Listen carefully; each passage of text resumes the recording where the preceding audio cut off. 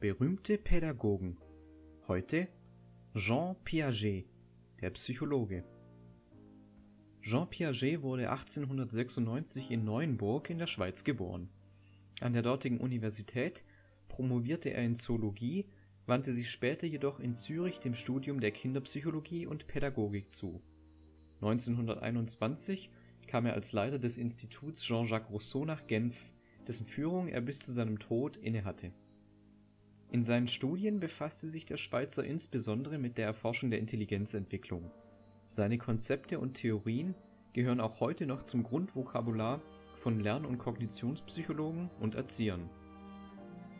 Na schön, schauen wir uns also einige seiner Theorien genauer an. Im Grunde lassen diese sich auf einen ganz einfachen Satz reduzieren. Nach Jean Piaget strebt ein Individuum nach einem Gleichgewicht zwischen Assimilation und Akkommodation. Durch das Assimilieren und Akkommodieren nutzt ein Individuum seine Schemata oder erweitert diese. Ganz einfach, oder? Naja, bis auf die ganzen Fachwörter. Wie wär's also mit einer genaueren Erklärung? Das Schema. Stellt euch Schemata wie eine Art Karteikartensystem vor, auf das ihr immer wieder zugreift, um eine Handlung zu meistern. In etwa, als ob ihr eine Schablone benutzt, um etwas Bestimmtes zu zeichnen. Ein Beispiel.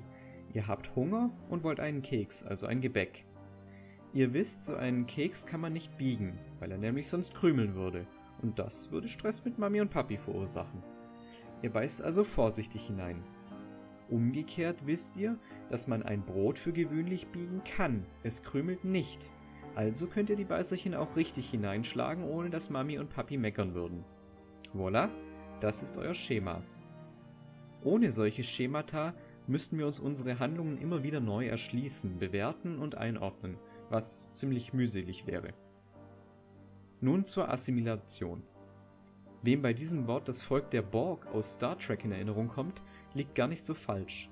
Kurz gesagt bedeutet Assimilation nichts anderes als die Bewältigung einer neuen Erfahrung mit Hilfe eines bekannten Schemas. Wenn nötig, wird dieses Schema der neuen Gegebenheit angepasst. Hier ein Beispiel. Ein Kind, nennen wir es Emil, isst einige Apfelstücke.